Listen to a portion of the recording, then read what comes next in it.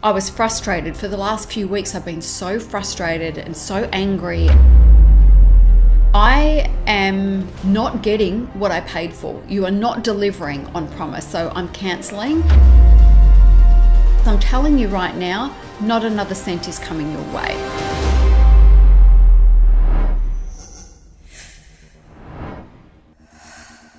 Okay, and now we're going to jump into the second conversation I had, which I think is also really useful, right? So this is in the case of I'd hired a team to help with, you know, my funnel sales, funnel building, and things like that, Facebook ads campaigns and stuff. And we're at month three now, and they've been grossly underperforming, grossly underperforming. I've tried to be patient. I've tried to, you know, I understand there's always a risk when we invest in things like this. Thankfully, my experience coupled with my natural instincts, you know, my gut instincts came together to, to basically make me decide that I'm letting these people go. I was frustrated. For the last few weeks, I've been so frustrated and so angry. And every team conversation we got on, I could just feel the the negativity coming off me because things weren't changing. The promise that was delivered was basically they would formulate a strategy and implement that strategy. The strategy is mine. I'm still doing a lot of the work myself. In fact, it's been 2 weeks since, you know, we've had a campaign running because they take too long with everything. So yesterday I decided I'm just going to jump in, create my own Facebook ad campaign. I did that, started my first campaign there, and then I came back and I went, yeah, this isn't a knee jerk reaction. This is me basically saying, why am I investing thousands and thousands of dollars with you every month when I can do this myself and get a better result? And just a quick example, like their lead cost was $68. I two leads yesterday. I spent $11 and, and had two leads. So that's $5.50 a lead.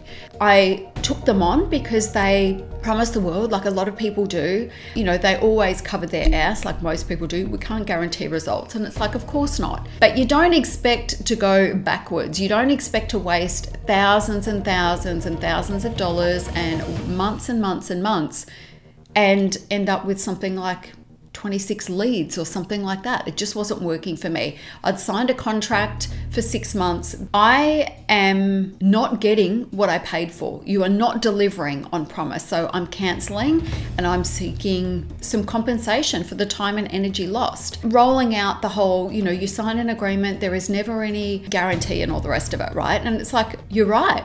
And if we wanted to follow the letter of the law, you would be correct. There is no guarantee.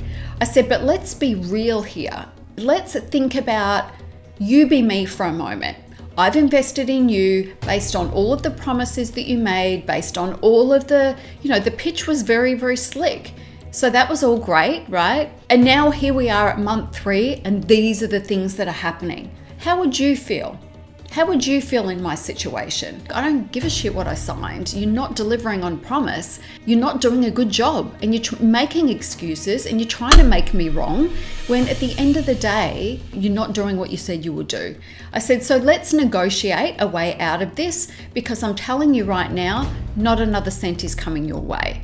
And it comes back to expecting what I would expect my clients to expect. I'm a woman of integrity, I am a woman of my word. And if I say I'm going to do something for you, I do it. That is the relationship that we go into. I stand by my word.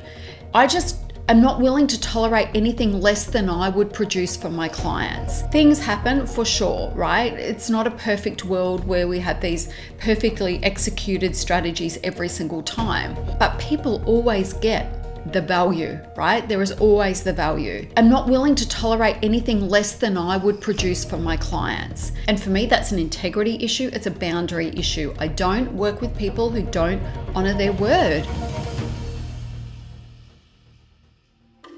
Decision to just end the contract and just do it myself was so strong. It was a reaction that was based on weeks of me going, you know, give them time, these things take time, and then, you know, slapping myself around the face, going, come on, you've been doing this long enough to know that this is not a good result, that the pace with which, with which they are getting things happening is too slow for you. Like if the fact that you can go and build out a whole funnel and get an ad campaign running in less than three hours and it's taken them two and a half weeks, is saying something, right? Felt like a really easy decision. Um, once I made the decision, it was easy. The fallout will be there. I'll have to continue to have conversations that I really don't have time and energy for, but it's like it's the right thing to do. When you're working with suppliers and things like that, trust your instincts. If things aren't going the way that you want, even if you're not an expert, like I'm not a Facebook ads expert by any stretch, right? But I know enough and I've done it before and I knew I had better results before. So I had to just figure out what's the right decision here. What why is this not sitting well for me? They're not doing what they said they were going to do.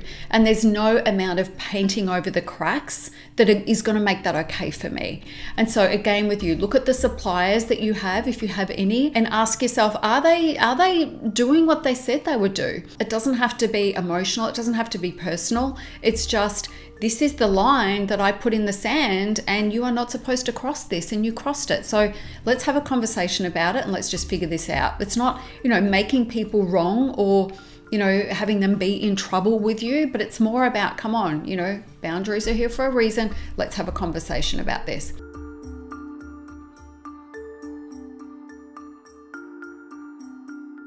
Anyway, go have yourself some tough conversations this week. They might feel awkward, but they are also going to feel really, really right. I promise you. Um, I will see you next week, and I would love to hear your thoughts um, in the comments below. Don't forget to subscribe and hit the notifications bell. All right, bye for now, and I'll see you next week.